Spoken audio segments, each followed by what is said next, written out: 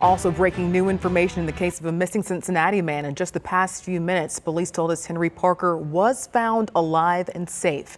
87-year-old Henry Parker walked away from his home on Kleinview Avenue around 1030 on Saturday. Police conducted an extensive search because Parker has Alzheimer's and they feared for his safety. We're about to get more detail from police and we'll bring that to you in the next half hour.